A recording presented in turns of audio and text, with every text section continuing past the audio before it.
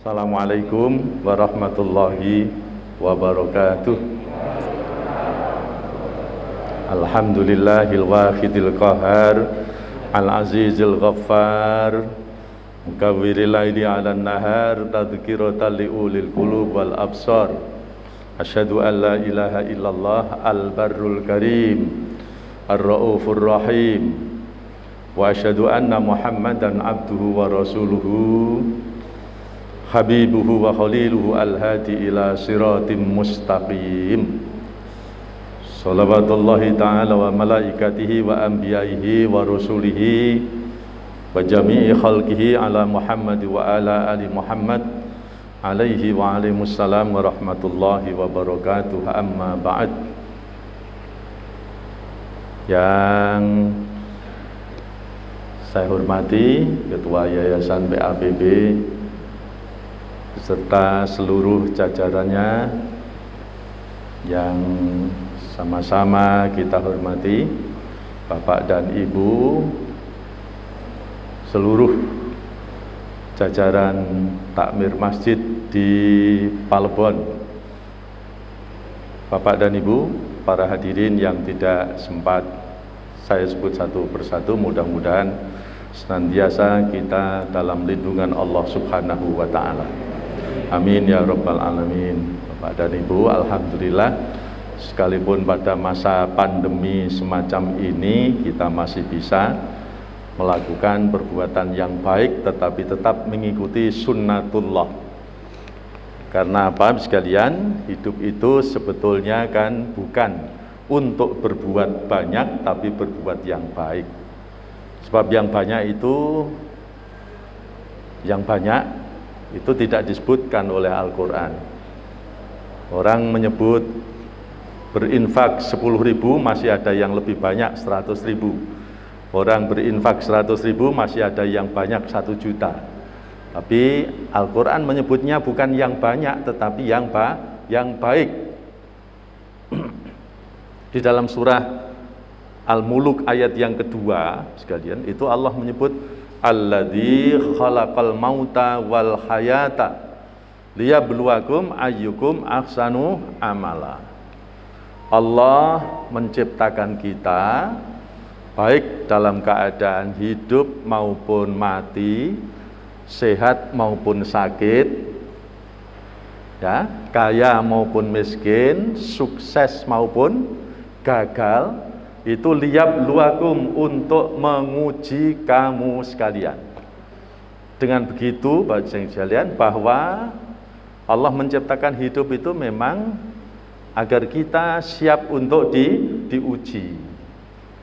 Untuk apa? Ayyukum ahsanu amala. Siapakah di antara kamu semua yang selalu tetap mempunyai komitmen untuk berbuat baik sekali.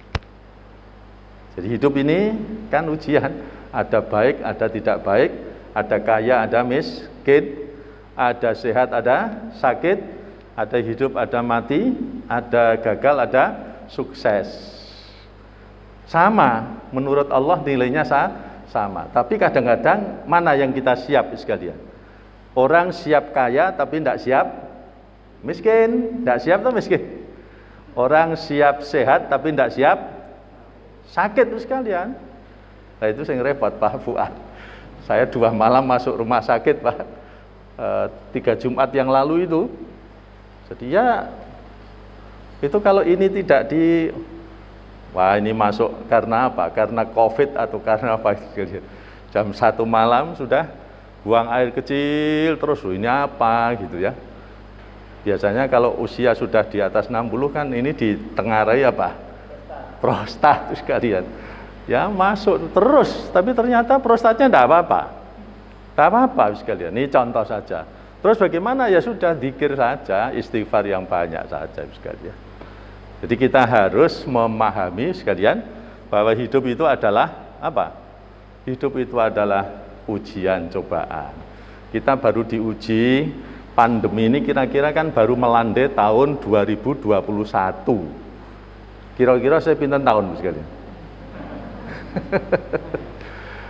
Perhitungan epidemiologis UGM itu Saya ikut rapat di Jogja sekalian ya. Itu karena ada salah satu organisasi besar yang mau muktamar mestinya pada Juli kemarin, itu ditunda sampai Juli tahun 2022 karena apa?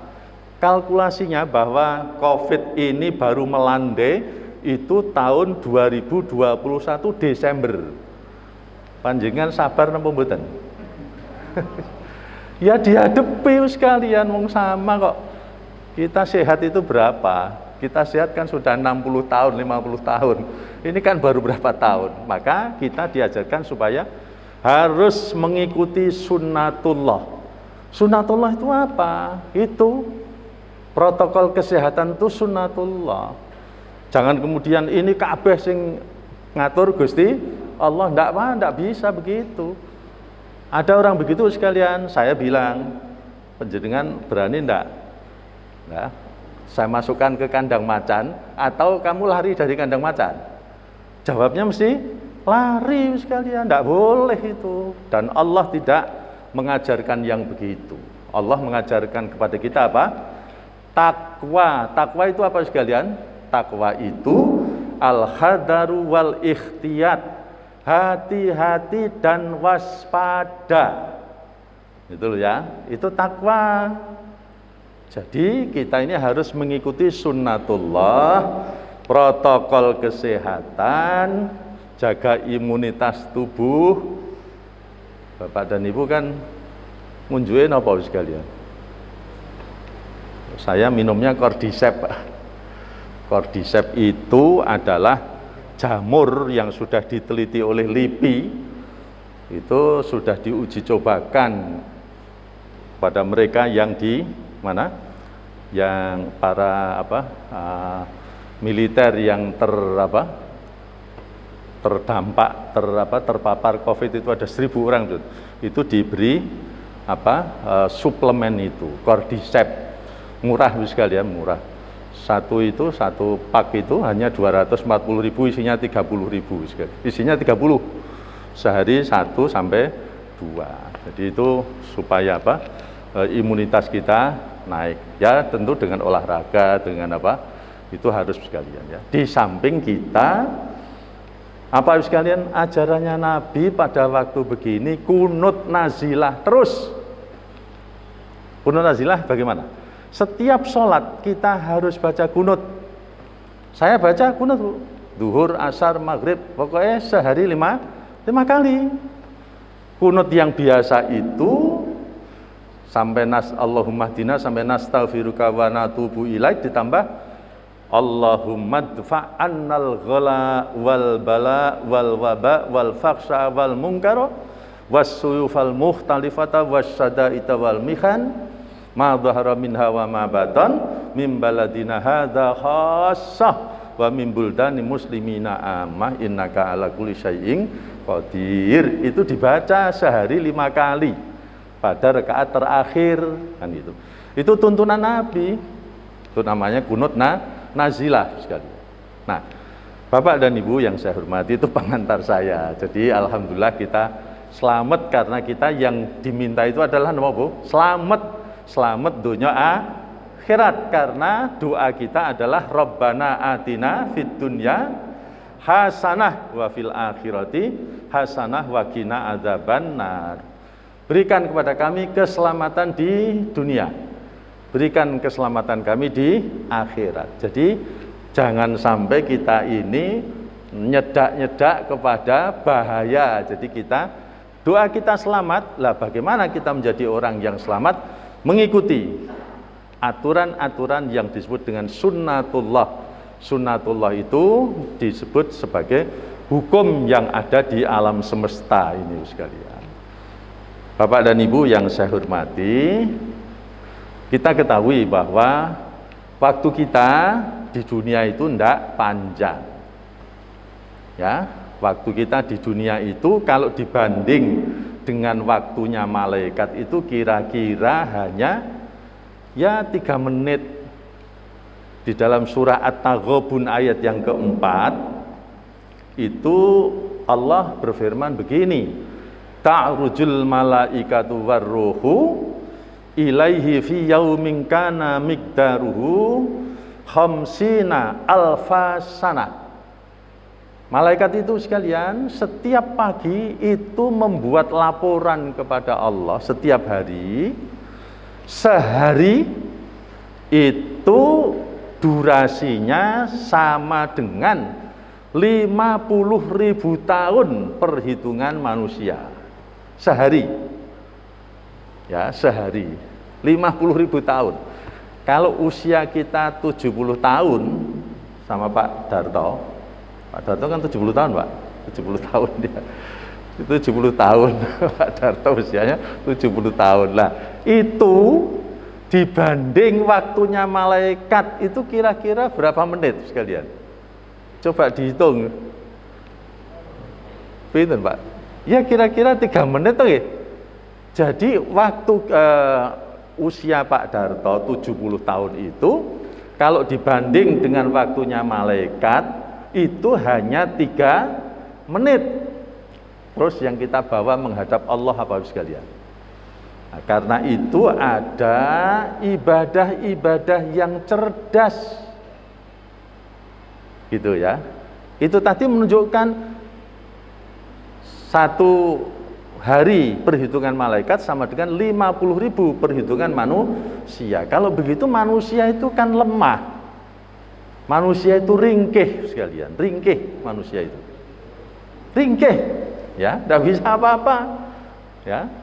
Contohnya ringkih jubi nek kula panjenengan dibandingke karo sapi ngoten kuat pundi? Nek ana sapi dikum sedina sewengi ngoten kira-kira mbededek napa tambah seger. Seger, tapi kalau kita direndam 15 hari gitu kira-kira mbededek napa seger sekalian. Itu tanda bukti bahwa manusia itu fisiknya lemah.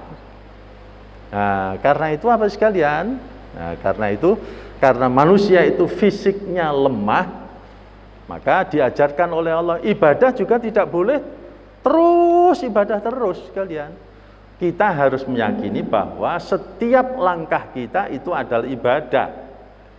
Dan itu. Maka diajarkan supaya seimbang, hidup itu yang seimbang. Ya, seimbangnya seperti apa sekalian?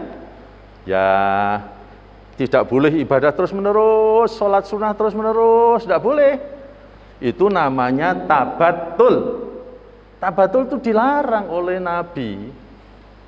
Ya, tidak boleh.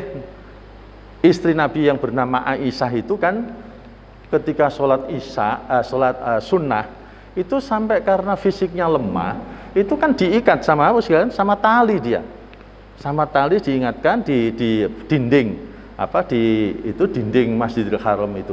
Kata Nabi, jangan begitu kamu Aisyah. Saya ini Nabi, saya ini juga makan, saya itu juga tidur, saya itu juga hubungan suami istri. Tidak boleh itu berlebihan semacam itu gitu. Itu namanya tabatul. Tidak boleh sekalian. Ya. Infak, duitnya serah ke kabeh ke masjid, tidak boleh. Itu namanya tabatul. Berapa paling banyak? Paling banyak itu sepertiga. Kan itu. Jadi harus seimbang sekalian. Oleh karena itu sekalian, karena kita ini diajarkan hidup yang seimbang kan gitu. Rabbana atina fid dunya hasanah wa fil akhirati hasanah seimbang itu sekalian. Tidak boleh kan itu sekalian. Nah karena itu, karena kita itu lemah, fisiknya lemah, maka Nabi mengajarkan semua, Quran mengajarkan semua sektor, semua kegiatan, semua aktivitas itu menjadi ibadah. Jadi tidak hanya sholat saja sekalian. Bapak dan ibu bekerja mencarikan apa? Nafkah istri, keluarga, itu juga ibadah. Bapak dan ibu yang kebetulan tidak punya ART, ART apa sekali? ART apa?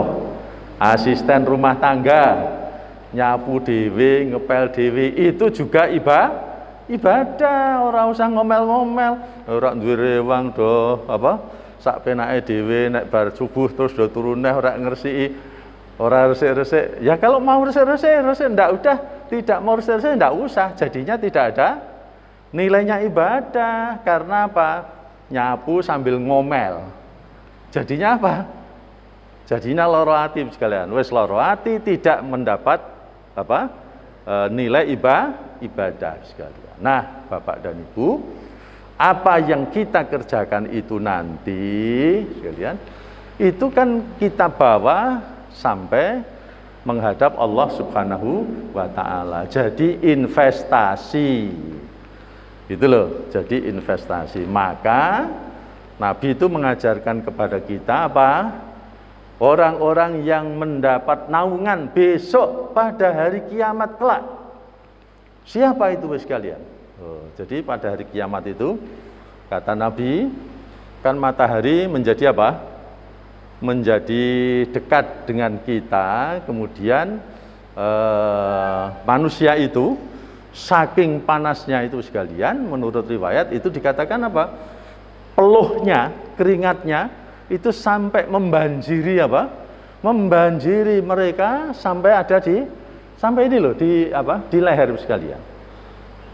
Terus ada beberapa kelompok beberapa kelompok, beberapa orang yang tidak akan tersengat dengan panasnya pada hari kiamat kelak itu sekalian. Nah, gitu.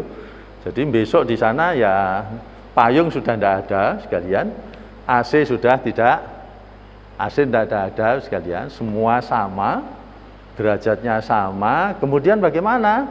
Itu tadi ada tujuh kelompok tujuh orang yang akan mendapat naungan dari Allah Subhanahu wa taala.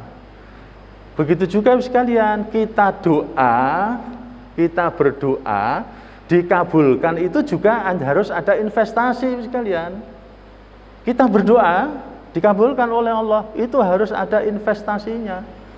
Saya jelaskan yang pertama dulu, doa yang dikabulkan oleh Allah ada investasinya apa? Dalam hadis arba'in itu disebutkan begini, kan ada tiga orang yang melakukan perjalanan malam hari tersesat kemudian mereka masuk ke dalam gua. Kan itu nah, kemudian ada batu besar gelundung dari atas nutup pintu gua. Dan tidak bisa apa-apa akhirnya ketika orang ini diskusi ayo kamu punya amal soleh apa yang kamu pergunakan untuk memohon kepada Allah. Nah, yang pertama habis kalian, dia selalu berbakti kepada kedua orang tua. Ya Allah, saya itu selalu berbakti kepada kedua orang tua. Coba dan mohon kalau kebaktian saya itu betul-betul tulus, ya tulus ya, orang karo ngomel, tulus kalian Orang karo ngomel. Ya. Oleh karena itu sekalian berbuat tulus itu angel. Bapak dan ibu ada orang, anaknya lima. Wong tuane kare siji. Ya. Terus bagaimana Bu sekalian? Yang mau berbuat baik itu satu, lainnya itu tidak peduli. Padahal orang tuanya sudah lemah, usianya 74 tahun, Ya? Tidak tidak peduli. Lah ini, begini ini sekalian. Kalau kita itu masih melihat orang lain, melihat saudara-saudara yang lain, lah iya, wong podo-podo anake kok ya ora gelem apa? Ngabekti. Enggak usah begitu, hilang sekalian. Tidak usah begitu, kita berbuat baik, tidak usah melihat yang lain. Ya, sekalian. Nah, ini saya cerita saya ceritakan istri saya sendiri, bukan orang lain. Ya begitu itu, saudaranya lima. Tapi yang empat ini sama sekali tidak peduli kepada kedua orang, kepada orang tuanya. Tinggal satu. Nah, sekalian. Nah, saya bilang, ngadepi orang banyak itu sabar. Tidak hanya ngadepi orang tua. Penjenengan punya anak berapa? Pak Yuti, Pak Fuad punya Pak punya anak berapa? Kalau anaknya empat, nikah semua berarti berapa? Anaknya jadi delapan. Cucunya berapa? Kalau cucunya delapan, Kita tidak sabar kepada orang satu, tapi kita harus sabar menghadapi berapa? Anak kita empat, karakternya beda-beda, mantu kita empat, karakternya beda. Jadi sabar kita berapa? Delapan. Sabar kita harus rangkep delapan sekalian. Cucunya berapa? Kalau cucunya delapan, berarti sabar kita rangkepnya berapa? Delapan ditambah delapan, enam belas. Jadi rangkepan kita, filter kita untuk sabar itu 16 kali sekalian. Kan itu. Soalnya apa? Kalau mereka, anak cucu kita, disuruh manut kita, mengikuti kita, mereka nanti jadi musuh kita semua. Gitu. Iya, itu itu kenyataan di masyarakat. Anak sing siji karo sing siji beda. Sing siji angger bulan ngirimi duit, sing siji Nah, sama terus bagaimana? Itu contoh konkret itu ya. Bayarnya ya akeh. Tapi nek mene pulsa pakane pira 100.000. Oh, sekalian. Panjenengan ngoten apa mboten? Nah, kula nggih ngoten. Ada begitu. Lah ya wong bayar semene kok ngeki pulsa bapake mung 100. Alhamdulillah masih diberi didoakan yang baik kan gitu sekalian. Jadi kesabaran kita itu harus terangkep-rangkep dan terus-menerus. Maka apa? Dikatakan tawasau bil hak, tawasau bis sabar sabar itu terus menerus dan tidak pernah Bapak dan Ibu yang tadi yang pertama sekalian. Jadi kebaktian kepada kedua orang tua. Ngopeni wong tua niku susah gitu, timbang ngopeni anak podo-podo podo-podo napa rewele Revel pitung puluh telu tahun karo revel telung tahun kira-kira seneng ngopeni sing telung tahun nopo pitung puluh telu tahun sih sing telung tahun soalnya sing telung tahun ambune saya wangi sing pitung puluh tahun ambune bapak dan ibu itu kenyataan maka kita harus yang kedua kemudian itu bisa ditolong geser sedikit pintu apa batunya bergeser yang kedua, kamu punya amal soleh apa? Investasi amal soleh apa? Saya tidak pernah maksiat, ya Allah. Nah, terus bagaimana? Saya tolong kalau saya pada waktu itu tidak melakukan maksiat karena ketulusan kepadamu, tolong saya. Geser sekalian. Yang ketiga, kamu masih punya apa? Investasi apa? Amal soleh apa? Ya Allah, saya tidak pernah makan harta orang lain. Saya tidak pernah makan barang yang haram. Terus akhirnya apa? Bergeser. Akhirnya ditolong oleh Allah. Jadi untuk terkabulnya doa dalam hadis itu disebut apa? Ad-doa intal kurbi. Doa ketika dalam keadaan kepepet. Nah, doa dalam keadaan kepepet sekalian. Dalam keadaan pepet harus punya investasi amal soleh. Terus apalagi sekalian ditambah saya ngajarkan pada anak saya, istri saya, nek sholat subuh niku malaikat sama apa kumpul semua nggih? Tambah ora sholat sunnah tok, sedekah sunnah. Nah, soalnya napa wong nek wis sedo niku sing ditakoni napa sedekah mboten napa? Mboten poso sunnah pada surah Al-Munafikun ayat yang terakhir itu ya laula akhartani ila ajalin qarib fa asaddaqa oh, ya Allah kalau saya itu agak sedikit ditunda kematian saya fa asaddaqa saya mau sedekah. Oh, lah sedekah apa? Sedekah yang utama itu pada waktu subuh. Caranya itu pundi? Kula panjenengan nggih kotak di nang omah to sedekah lebokke. Sambil berdoa, lah berdoanya kan di apa?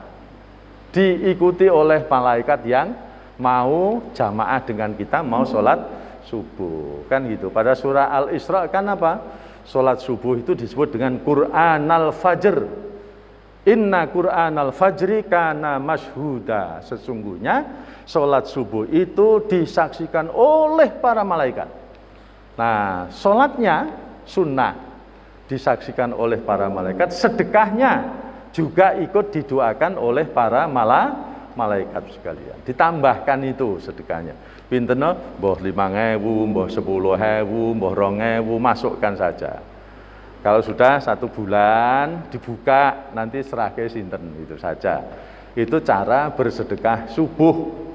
Ya sekalian. Sedekah itu ditanyakan itu tadi. Orang-orang yang sudah meninggal itu gelo kok tidak sedekah pada waktu hidupnya. Nah, sedekah yang baik itu sedikit tetapi ajek. Kata Nabi, khairul umuri adwamuha wa ingkalla sebaik-baik perbuatan itu sedikit tapi ah, ajek. Ajek itu sekali. Nah, Bapak dan Ibu yang saya hormati jadi tiga hal tadi investasi amal soleh yang bisa apa mengabulkan yang bisa terkabulnya doa kita. Nah sekarang apa sekalian tadi kelompok atau tujuh kelompok yang akan mendapat naungan besok pada hari kiamat itu siapa? Jadi orang merasakan panas semua, tapi kita bisa merasakan kesejukan tersendiri pada hari kiamat. Kata Nabi, sab'atun yudhilluhumullahu la dhilla illa dhillahu. Ya, besok ada tujuh kelompok yang pada hari kiamat itu ya akan dinaungi oleh Allah pada hari kiamat. Siapa itu? Yang pertama adalah imamun adilun. Penguasa yang adil. Ini Beijing tanggal 9 Desember kan mau ada pilkada. Penjaringan nyoblos sama mboten? Ya. harus partisipasi sekalian warga negara yang baik harus ikut berpartisipasi nyoblos. Sing dicoblos sinten? Sinten sing dicoblos? Rahasia. Kan itu tahu sekalian. Uh, kan itu sekalian. Kita harus berpartisipasi kan itu terus apa? Kalau penguasa itu ada kebaikan maka kebaikannya untuk kita semua kalau ada yang tidak baik, maka ketidakbaikannya kembali kepada dirinya sendiri. Nah, kembali kepada tujuh kelompok yang akan dinaungi oleh Allah pada hari kiamat. Yang pertama adalah pemimpin yang adil. Siapa sih pemimpin itu, sekalian? Kita, kata Nabi, itu semua menjadi pemimpin. Ya, Kata Nabi, kullukum ra'in. Kamu semua adalah pemimpin. Wa mas'ulun ar dan kamu akan ditanya apa yang kamu pimpin. Suami memimpin ke apa? rumah tangga. Istri memimpin rumah tangga ketika suami tidak ada. Ya. Anak juga memimpin dirinya sendiri ketika tidak ada apa uh, bapak dan ibunya. Maka disebut apa oleh Nabi? Masing-masing kamu adalah pemimpin. Jadi jangan merasa kita menjadi orang yang dipimpin. Kita harus bisa memimpin dirinya sendiri. Kata Nabi begitu. Maka disebut kullukum ra'in. Setiap kamu adalah pemimpin wa mas'ulun ar dan akan ditanya tentang kepemimpinan kamu. Bapak dan Ibu ketika kita di jalan tidak ada polisi ya, lampunya traffic light menyala merah. Saat itu kita jadi pemimpin, memimpin diri sendiri. Kita akan jalan ketika lampu merah atau apa? berhenti Ketika berhenti sadar kita berarti menjadi orang yang apa? bisa memimpin diri sendiri sekalian. Yang kedua sekalian, itu yang pertama ya. Uh, jadi uh, imamun adilun, tujuh kelompok sab'atun yudhilluhumullahu yaumala illa dhillahu. Tujuh kelompok, tujuh orang yang akan memperoleh naungan besok pada hari kiamat kelak yaitu yang pertama adalah pemimpin yang adil. Ya. Yang kedua sekalian wasabun nasa'a fi ibadatillahi azza wa jalla. Pemuda remaja ya sekalian yang selalu beribadah kepada Allah Subhanahu wa taala sing akeh-akeh wong nom niku do ibadah napa do maksiat Gus kalian. Remaja cah nom-nom niku biasane akeh ning mall napa akeh ning masjid. akeh ning mall. Lah ning mall niku wonten musalane napa mboten? Ya ada, tapi kan nek ora biasa itu sulit sekalian. Nek mboten biasa niku sulit waktunya. Waktunya adzan ya antara nonton Andri Karcis atau sholat. Kira-kira Andri Karcis rumiyin apa sholat rumiyin? Tergantung kebiasaannya. Wong urip niku witing tresno amarga saka kulino wah kalau kebiasaannya itu ngentengke sholat ah nonton apa? Andri Karcis terlebih dahulu karena waktunya terbatas. Ah sholat kowe apa-apa kan gitu. Nah sekalian padahal yang besok manusia itu dibangkitkan karena kebiasaannya. Yub'asu kullu abdin ala ma mata alaihi manusia besok dimatikan dibangkitkan karena kebiasaannya sekalian. Nah, kebiasaannya apa? Can nom nom niku Bapak sekalian naik ke sandung kira-kira ngucap innalillah nopo nopo kebun binatang. Tergantung kebiasaannya kan itu toh? Kalau kebiasaannya innalillah subhanallah ya innalillah subhanallah. Kalau kebiasaannya kebun binatang ya kebun binatang sekalian itu yang kedua tadi pemuda remaja yang hidupnya itu untuk dan selalu beribadah kepada Allah Subhanahu wa taala. Mengapa disebut pemuda? Soalnya sekalian pemuda itu kan di, seperti seperti ini apa? Seperti kendaraan yang masih muda, jalannya cepat, bisa untuk ngebut. Tanya Pak Rofik itu kalau naik kendaraan muda Rebon 2010 sudah dimodifikasi jalannya cepat. Karo Toyota apa? Toyota Corolla tahun 78 bagaimana sekalian? Nah, Toyota tua terus bundi Mulane nek umane pun sepuh niku salate kan mesti alon-alon sekalian. Soalnya dengkuling nggih sujud wis mun muni kabeh to. Nah, sekalian. Pun muni alon-alon sekalian. Tapi kalau masih muda set set gitu sekalian, ya cepat wis sekalian. Maka pemuda remaja yang selalu itu ibadahnya di apa? Pahalanya dilipatkan oleh Allah Subhanahu wa taala. Diberi naungan mereka. Nah. Kemudian yang ketiga sekalian, apa orang yang e, menjauhi maksiat ya jadi maksiat ini angel sekalian sulit. Contoh saya penjenengan memegang nyekeli duitnya wong dia pegang uang orang lain. Sekarang ada butuh kira-kira ada butuh kepepet. Kira-kira gunakan uang itu dulu atau ngenteni lapor karo sing duwe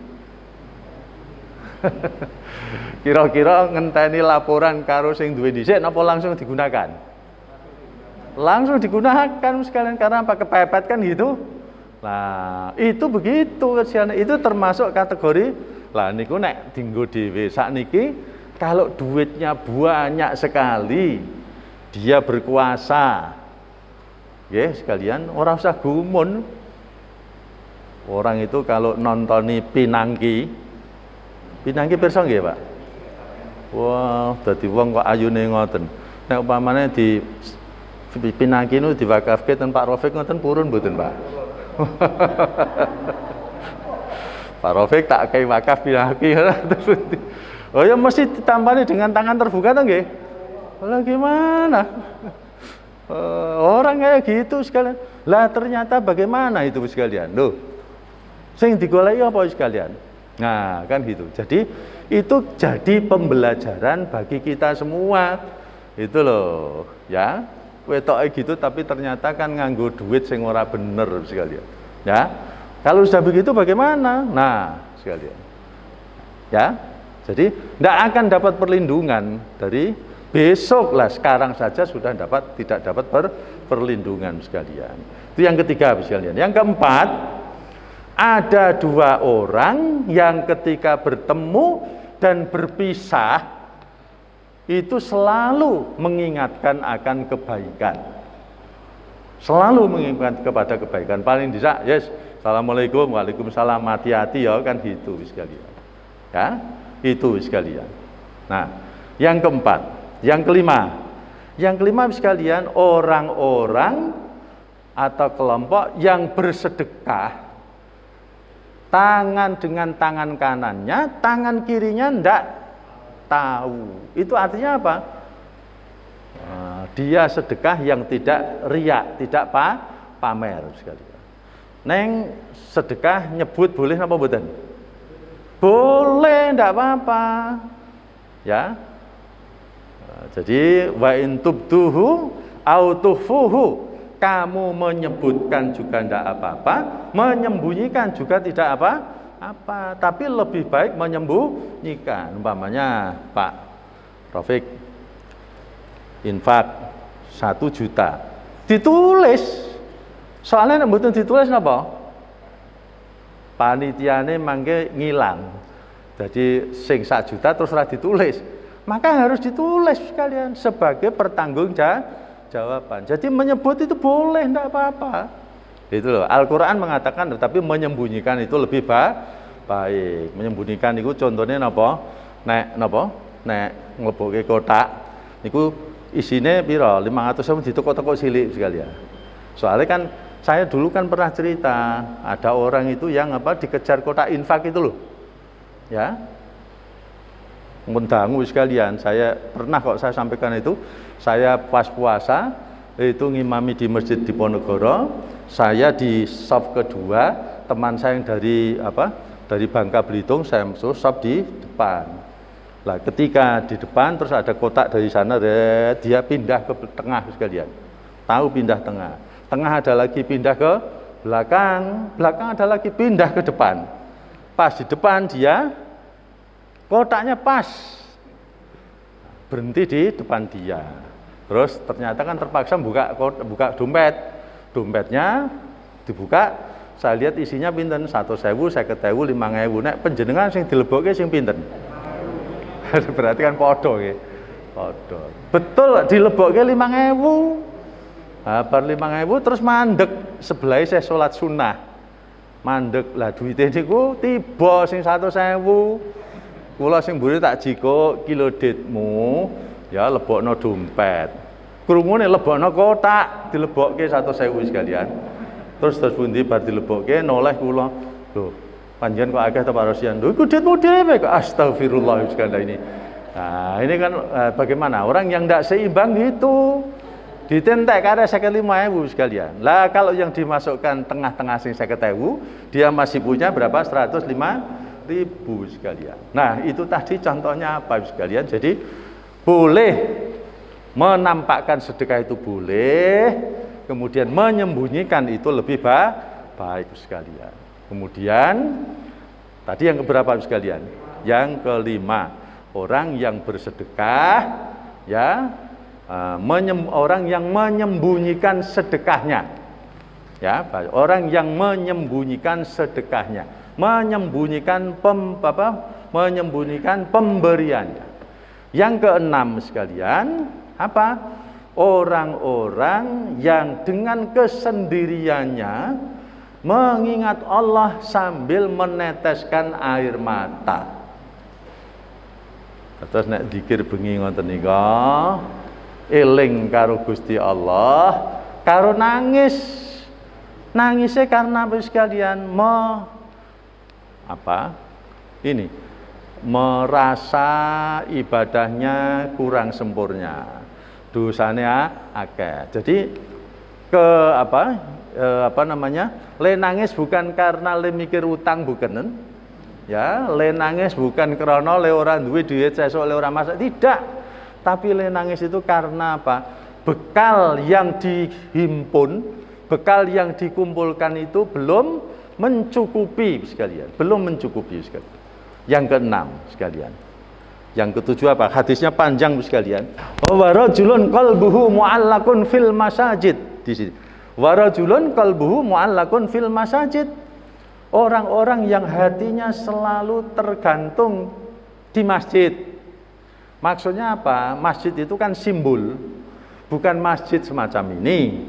Masjid itu simbol orang-orang yang hatinya selalu terikat dengan kebaikan di mana saja berada. Nah, itu disebut warajulun qalbuhu mu'allakun fil masajid. Orang-orang yang hatinya selalu tergantung pada masjid. Masjid itu tempat kebaikan. Masjid itu tempat berbuat ibadah. Maka di mana saja hatinya itu tergantung kepada kebaikan. Bukan tergantung pada masjid artinya itu artinya hatinya itu terikat kepada ke kebaikan. Di pasar juga terikat kepada ke kebaikan. Di mall juga terikat kepada ke kebaikan sekalian. Nah, itu dikatakan oleh Nabi tujuh kelompok inilah yang yang besok akan memperoleh naungan dari Allah Subhanahu wa taala. Saya ulang sekalian, yang pertama tadi tujuh orang adalah imamun tujuh kelompok, tujuh orang yang akan memperoleh naungan dari Allah Subhanahu wa taala pada hari kiamat. Yang pertama adalah seorang pemimpin yang adil, imamun adilun. Yang kedua, orang-orang atau para remaja yang selalu taat beribadah kepada Allah Subhanahu wa taala. Yang ketiga adalah orang-orang yang digoda dengan maksiat mereka tetap bertahan untuk melakukan ke kebaikan. Yang keempat adalah apa kan? Kemutan betul?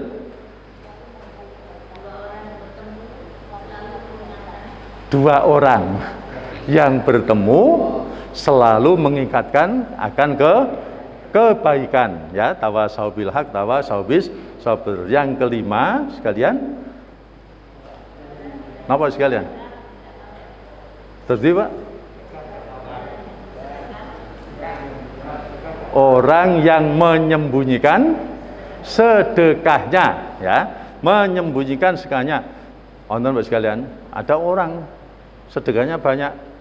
Saya tahu, Pak panjangan uh, nyumbang musib itu Allah mung sidik kan itu mung padahal jane ya ya besar sekalian tapi dia apa menyebutnya Allah mengsidik kok saat itu. Ya sudah berhenti.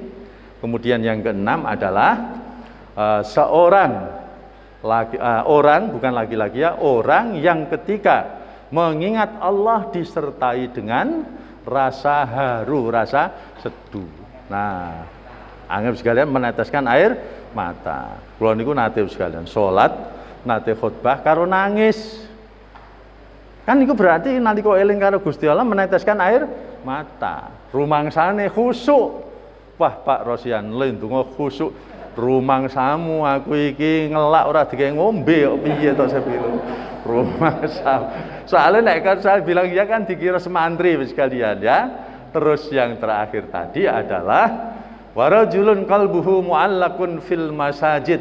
Orang-orang yang hatinya selalu bergantung kepada masjid dalam artian orang-orang itu yang hatinya selalu terikat dengan kebaikan ya karena masjid itu sebagai tempat untuk melakukan kebaikan masjid sebagai simbol untuk melakukan kebaikan sehingga Nabi mengatakan orang-orang yang hatinya selalu tergantung di masjid mudah-mudahan Bapak dan Ibu kita berusaha untuk bisa melaksanakan ya paling kurang paling kurang berapa? Nek bitu ya telu wis lah itu. Paling tidak jadi pemimpin yang adil, orang tua yang adil kan itu. Yang kedua apa? Jiwa kita itu terikat dengan kebaikan. Syukur bisa tujuh kita kita lakukan bersama sama. Hanya Nabi menyebutnya tujuh kelompok Kita masuk yang mana? Apakah Nabi tidak menyebut apakah itu berlaku kumulatif tujuh tujuhnya atau hanya di antara tujuh itu kan itu Nabi tidak menyebutkan hanya tujuh kelompok Ya, jadi mungkin kelompok sana begitu, kelompok sini begitu, kelompok sini begitu. Jadi kita tidak memperoleh informasi dari Nabi apakah itu tujuh ya tujuh item harus dilakukan bersama-sama atau beberapa saja yang bisa dilakukan. Tapi kita berusaha untuk bisa melakukan tujuh item yang diajarkan oleh Rasulullah Shallallahu Alaihi Wasallam. Bapak dan Ibu, saya kira uh, apa kajian kita sampai di sini masih ada waktu yang akan bertanya dipersilakan. Ibu kalau cukup jamnya sudah lebih pak ya? Jamnya sudah lebih ya? Oh, iya, iya. Kita akhiri pertemuan kita dengan berdoa bersama-sama. Mudah-mudahan kita, keluarga kita, anak cucu kita senantiasa dilimpahkan kebaikan oleh Allah Subhanahu wa taala dan dijaga mudah-mudahan selamat semua bisa bertahan dan melampaui masa pandemi ini dengan selamat dan sehat. Agar lebih khusyuk, mari kita awali doa kita dengan membaca suratul Fatihah bersama-sama. Ibtigha'an limardatillah al-Fatihah. A'udzu billahi. Bismillahirrahmanirrahim. Alhamdulillahi rabbil alamin arrahmanir rahim maliki yaumiddin. Iyyaka na'budu wa iyyaka nasta'in ihdinas siratal mustaqim. Siratal an'amta 'alaihim ghairil maghdubi 'alaihim amin. Bismillahirrahmanirrahim. Alhamdulillah Rabbil Alamin Hamda yuafi ni'amahu wa yukafi'u mazida Allahumma salli ala Sayyidina Muhammad wa ala ahli baitihi wa sahbihi wa sallim. Allahumma inna nas'aluka bihaqqil fatihatil mu'azzamati was sab'il mathani an taftaha lana bikulli khair wa an tatafaddala alaina bikulli khair wa an taj'alana min ahlil khair wa an tu'amilana mu'amalataka li ahlil khair an tahfaduna fi adyanina wa anfusina wa ahlina wa auladina wa ashabina wa akhbabina min kulli mikhnatin wa fitnatin